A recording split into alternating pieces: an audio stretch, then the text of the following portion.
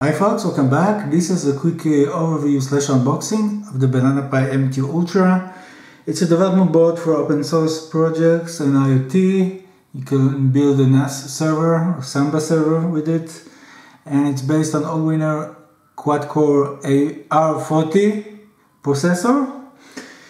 And it supports Ubuntu Linux, Debian Linux, also Android, and it's a 64 and also 32 bit processor.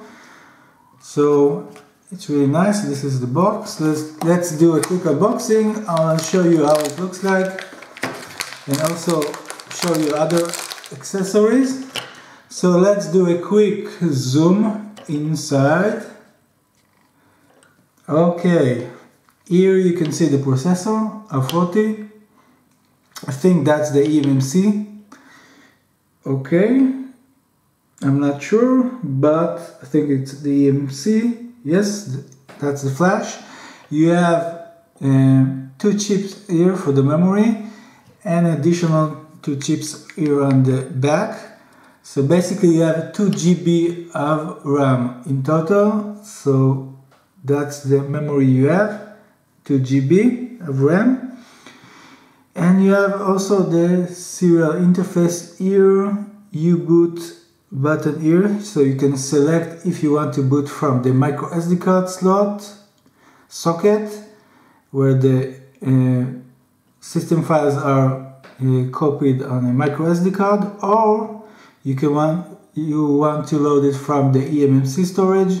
So you have this button here here you have an external display interface and this is for the camera also.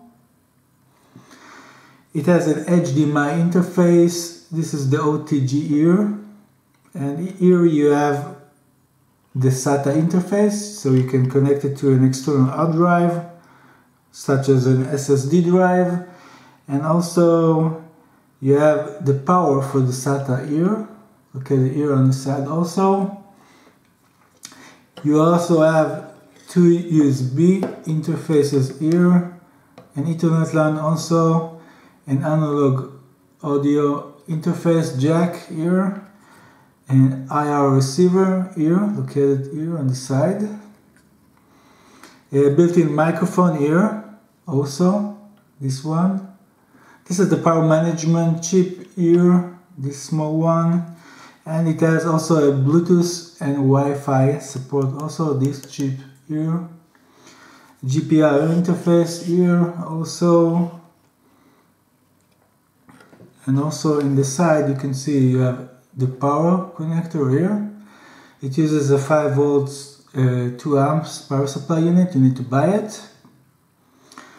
And here you have the power and the reset buttons here on the side also also, you have an option to connect it to an external antenna. You have a nice socket here.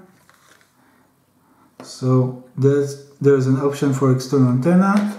And switching to the back, you have an external battery interface here, backup battery. And you have two chips for the memory. Like I said, you have 2 GB of RAM in total. And that's the micro SD card slot here. You can see from the side. So you, you have both a eMMC option and also micro SD card option to load the operating system, the images. So pretty nice board. Let's go to the other options, other accessories you can buy for this board. First you also have an option to buy uh, heatsink. You have basically two types of heatsinks one for the processor, this square one. Of course you have a ceramic type of uh, pad sticker here. So that goes to the processor. And the second type you have for the memory chip here. You have also a pad here and you can see it's kind of longer. So that's for the memory chip I think. So you have two types here basically you can buy and other option connecting an external hard drive you can use an SSD drive. You need to buy a special cable for it, also a few dollars, not so expensive. You have one side for the power, the other for the SATA interface. So this is a basically a 2.5 inch SATA hard drive. You just connect it to the board this way, here, and the power goes here. So you can basically build a server with this configuration. So pretty nice board. And it supports Ubuntu Linux, Debian Linux and other distributions also, like I said. So I hope you enjoyed my quick overview of the Banana Pi M2 Ultra. Thanks for watching and bye.